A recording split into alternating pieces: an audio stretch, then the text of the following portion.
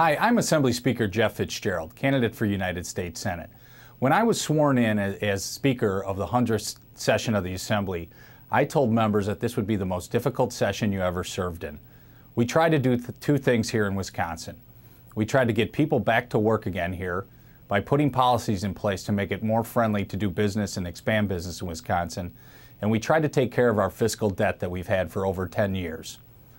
We balanced a $3.6 billion deficit, and we did it without raising taxes. Tough decisions had to be made, but in the end, we have this state on the right track.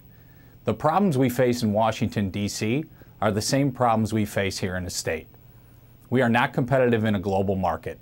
We are now have the most highly taxed rate in the entire industrialized world. We also have the highest regulatory climate here in this country. These are things we have to fix to get people working again in, in this country. Next, we have to take care of our $16 trillion debt. That is weighing down on the country. And when we look at it, 40 cents on every dollar is borrowed from foreign countries.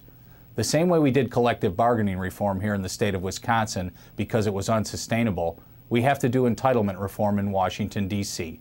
When you look at Medicare, Medicaid, Social Security, and the interest on our debt, by the middle of next decade, all dollars coming into the federal government will have to go for just those four programs. We need to get control of this and get control of our spending because we are heading towards a financial cliff. And if we don't do something soon, we could look like any of the European societies we see today Greece, Spain, or Portugal. So it is important for us to get back on the right track, get competitive as a country again, and move this country in the, in the right path.